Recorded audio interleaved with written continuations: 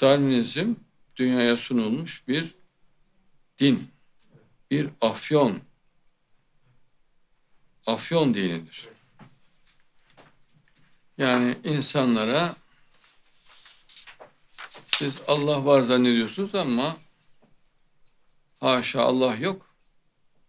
Dolayısıyla vicdanınızla hareket etmenize de gerek yok.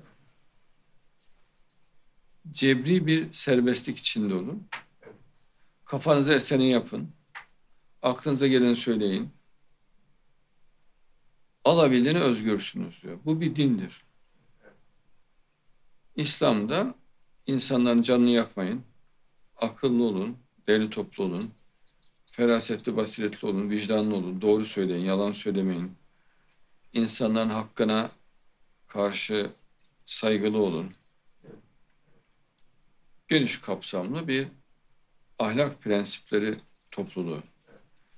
Darwinizmde de bu prensipleri kökten yıkan bir inanç.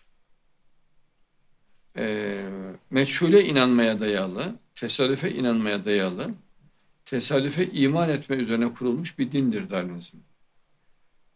İnsanları Allah inancına, dine karşı uyuşturan, hayata karşı da uyuşturan, gerçekçi ve akılcı olmasını engelleyen, Allah'ın varlığını göremeyecek hale getiren, Allah'ın sanatını bilemeyecek hale getiren karanlık, acımasız bir din Darwinizm.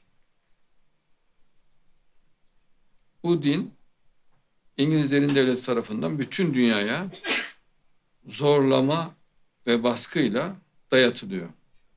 Hiçbir İslam ülkesi, hiçbir Hristiyan topluluğu bu dine karşı koyamıyor. Papa Vatikan'da olmasına rağmen, bağımsız bir ülke gibi görmesine rağmen Darwinizme boyun eğmiş durumda.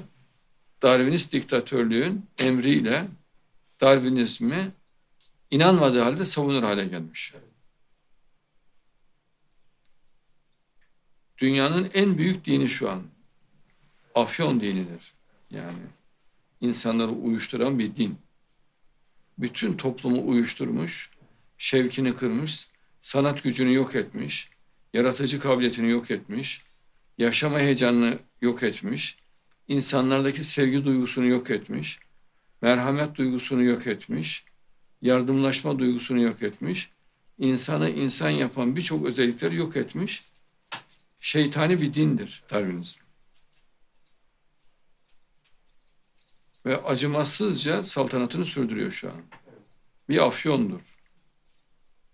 O dinin etkisiyle diğer yan dinler de türemiştir. Şirk dinleri türemiştir. Kur'an'a dayalı olmayan gelenekçi Ortodoks dinler, Hristiyanlık içerisinde yine sapkın, yanlış mezhepler, düşünceler, görüşler gelişmiştir. Dolayısıyla şeytan amacına ulaşmıştır dünyada.